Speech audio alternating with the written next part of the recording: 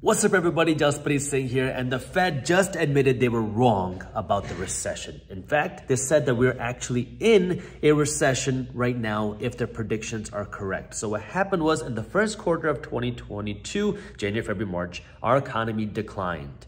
And if we see two quarters, meaning six months of an economic decline, that means that we're in a recession. Well, after the first quarter of economic decline, people started to get worried about a recession. However, the Fed kept saying, don't worry, we're not going to enter a recession. Our economy is so strong. Our economy is so robust. Our labor market is so strong.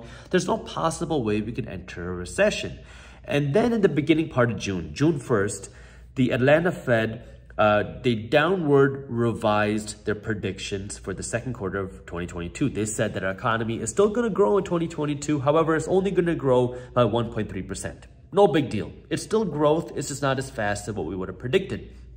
Then one week later, on June 7th, they came back and said, okay, it's not going to grow by 1.3%, but our economy is going to grow by 0.9% in the second quarter of 2022. That was June 7th.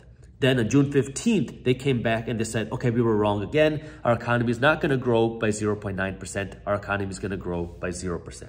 So they're predicting flatline uh, economy, which still technically is not a recession because you need two quarters of economic decline. Then just yesterday on June 30th, they came out again, they downward revised their predictions and they say that our economy is probably going to decline by 1% in the second quarter of 2022, which would mean that technically we are in a recession. And in fact, our, the recession started in January because when you have a recession, the recession technically starts back in the first quarter of when the recession started. So if they are correct, that means the recession started in January of 2022 when everybody was saying there's no chance we're going to have a recession. And if we do have a recession, it's not going to be until 2023. However, the Fed kept saying don't worry about the recession. It's not possible. Our economy is so strong. The government even said that. And the number one cause of this recession, according to the Fed, is inflation. Now, the Fed is trying to fight inflation by raising interest rates. And obviously, some people have different opinions on how to fight inflation.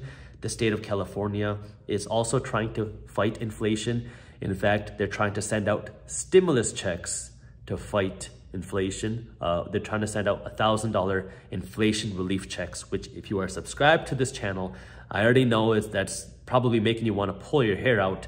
How can you send inflation checks? Uh, sorry, how can you send out stimulus checks to fight inflation? But we'll get to that a little bit later. And so here we are right now with uh, the Federal Reserve Bank now admitting that we will probably enter a recession. However, they did give one little caveat. They said that, okay, although we might be entering a recession right now, that it's going to be short-lived. That this is going to be one of those things where uh, the economy is going to go down, but then it's just going to bounce right back up by quarter three or by quarter four of 2022, which still doesn't make any sense. How in the world are we going to magically just come out of this recession when the thing causing the recession is inflation, and we haven't even begun to tame the inflation issue. At the time of me recording this video, inflation is at the highest level that we've seen in 40 years, over 40 years.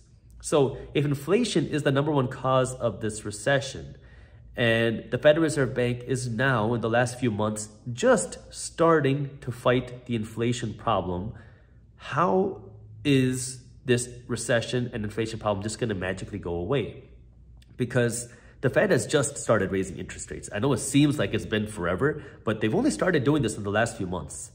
And we have not seen inflation stabilize. We haven't even seen it, we have not seen it start to go down or stabilize. Inflation is still rising at the time of me recording this video. And so if the Fed is still having to raise interest rates, they're still having to pull money out of the economy, that's going to hurt the economy even more because as you raise interest rates, the companies that relied on low interest rates, the cheap money, that free money, well, they're getting hurt. And that's causing these valuations to go down. That's causing layoffs to happen. That's causing some companies to close their doors and go bankrupt. That's causing some companies to get acquired for very cheap. We've been seeing layoffs across the tech sector. And this is really just the beginning because the tech sector was the one, the biggest byproduct of the bubble economy from 2020 and 2021. But you're already starting to see some of these super low valuation acquisitions because companies have no other option. I'll give you a quick example. I've talked about BlockFi uh, before. And BlockFi, uh, I don't remember the exact numbers. I did read the article earlier today, but they were valued at some billions of dollars in 2021. So they were raising money at a multi-billion dollar valuation. That's B with a uh, boy, B for boy. They're raising money at a multi-billion dollar valuation, um, but then they started running out of money in 2022. And as interest rates went up, they couldn't get more money. So just yesterday, it was announced that FTX, which is a competitor uh, crypto exchange, they are now in contract or they're working to purchase BlockFi, not for multi-billions of dollars, not for $1 billion, not for $100 million, but for just $25 million. We're talking about a massive price cut because they're desperate. If they don't get the cash, then they're gonna have to shut their doors. They run out of, they go out of business, everybody loses their jobs. So this is the situation that they're in, and they're not the only ones. And we've only begun to start raising interest rates. Inflation has not started going down yet. So these are the things that you want to pay attention to because although the Fed and the government say one thing, sometimes the reality is something completely different. We saw it with inflation in 2020. Uh, back in 2020, nobody said inflation would be a problem unless you were subscribed to this channel. But the government and the Fed kept saying, there's no inflation issue, it's deflation that's the concern. In 2021, it was that inflation is transitory. This high inflation is going to magically go away. They expected it to go away by the end of 2021. Then they said it would be gone by the end of 2022. Now here we are in the second half of 2022 and inflation hasn't even started going down yet. Um, and then it wasn't until the end of 2021 that they said inflation is a real problem. And now, just a few months ago, we have begun the fight on inflation. So the inflation fight has just started. The economy is starting to slow down. And then on top of that, we are starting to see consumer spending slow down, which hurts the economy.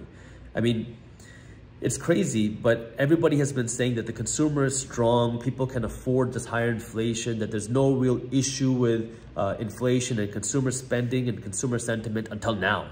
And the reason why is because well, people had one, paid off a huge chunk of credit card debt in 2020 and 2021.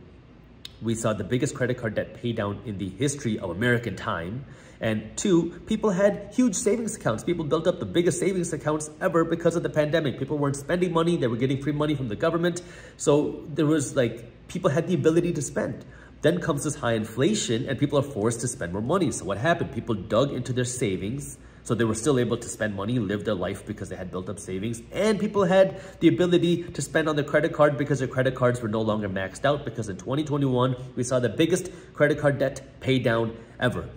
Well, then comes the end of 2021 into the beginning part of 2022, and we see the biggest credit card spending boom in the history of American time because people no longer have the ability to fund their expensive lifestyle because inflation is running so hot and now people's credit card debts are maxed out and people don't have the same savings as they did before. So now people just can't spend like they did before. This is what's causing consumer spending to go down, which is causing the economy to go down. And then that triggers the next round of dominoes, which is companies now realizing we're not getting the same sales, we're not getting the same revenue, we don't have the same profits, so we have to downsize, we have to stop investing in growth, we have to lay some people off.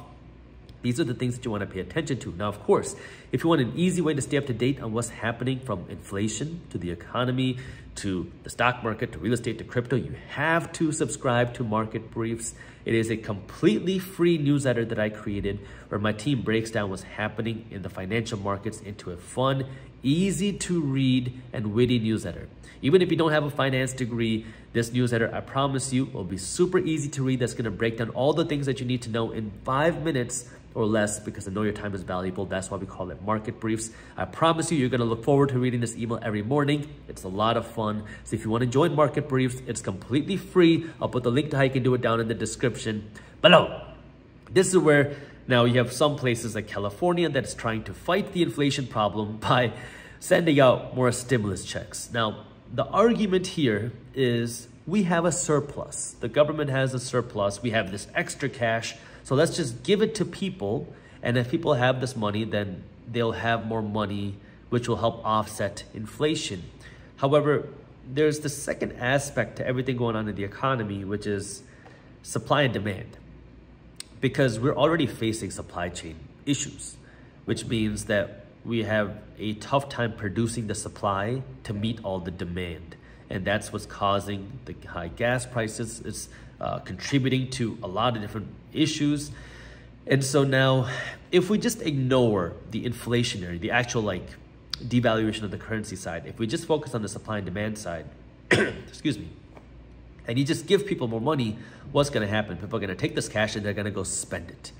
And if business owners see this rise in demand without an increase in supply, what's that going to do to the prices of things? Well, people are going to spend their $1,000 relatively quickly because it doesn't take that much effort to spend $1,000, especially in this economy. But then the price of things are going to go up even more. So uh, it doesn't solve the inflation problem. It might solve it for a short period of time, maybe for a couple months, but then the inflation problem gets even worse. So you know, this, this is where you really have to understand the cause because you have the Fed and everyone saying that the cause of this recession is inflation. You can't solve an inflation-induced recession by causing more inflation. It just makes the root cause worse. So those are the things that you want to pay attention to. This is where obviously you want to get financially educated. You need to start being smart with your money, put some extra cash aside to protect yourself, but also to look for opportunities because more millionaires are made during market crashes and recessions than any other time because that's when investments and assets go on sale. The reality is booms and busts are a part of our economic system. Now, I know us as a society, us as a system, we're trying to desensitize ourselves from risk I mean, just look at 2020. We were in supposedly the worst economy, the worst economic system since the Great Depression. Yet no one really went through that much economic pain. No one felt like we were in the Great Depression. No one felt like we were even in the 2008 recession because money was flowing freely. And I mean, just think about it. In 2021, we were in a recession, yet the sale of luxury items, things like Gucci, things like Louis Vuitton, were breaking record highs. How is it possible that you're in a recession, yet luxury stores are making record sales to regular people? So, you know, all of that has to be paid for at some point, and we're paying the price today. And you cannot desensitize yourself from all the risk. All that does is make the bubble bigger. And now what we're seeing is this inflation problem is a real problem and that the economy is now starting to slow down. The Fed is still saying that this uh, while we might see a recession, it's just going to be a short-lived recession and by the end of the year our economy is going to be booming again although we still haven't even solved the inflation problem.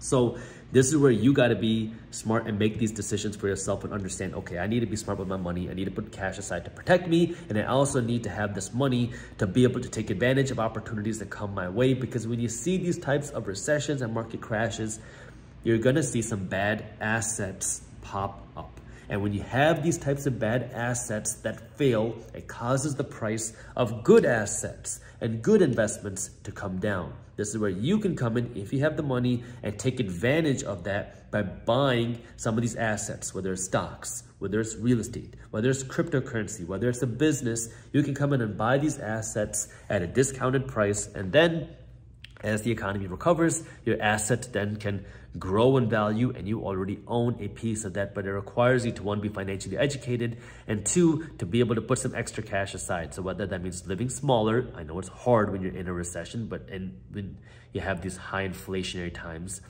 and two, earning more money.